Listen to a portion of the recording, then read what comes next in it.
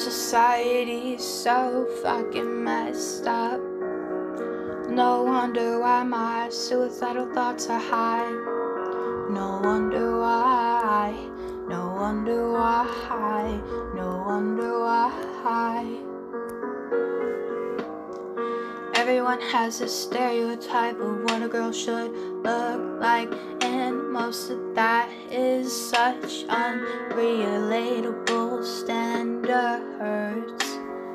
Relatable standards.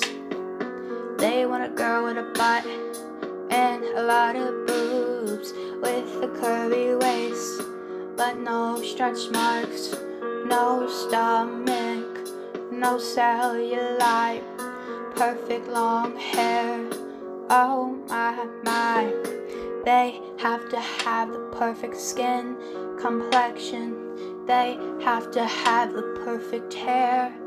Always, they have to be like a supermodel, fit all the lingerie that they want us to wear. Being a woman in today's society is trapping. Society's fucking hang with my head. I wish I was dead again time to time.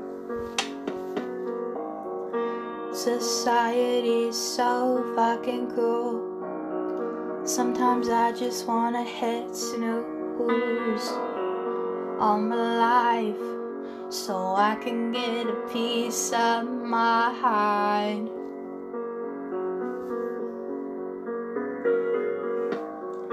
Girls today wanna be so skinny. All of us just wanna be so pretty, but we're missing the point of inner beauty.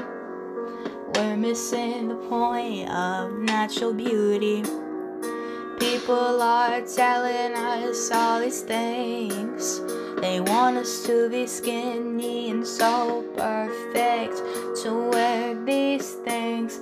But then we get blamed for what happens to us when we wear it.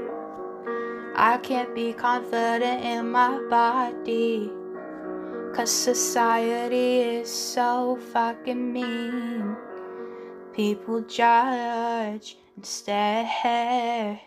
I sometimes wish I never cared.